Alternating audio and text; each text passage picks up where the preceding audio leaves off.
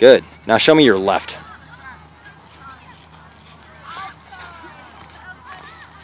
Okay, I forgot.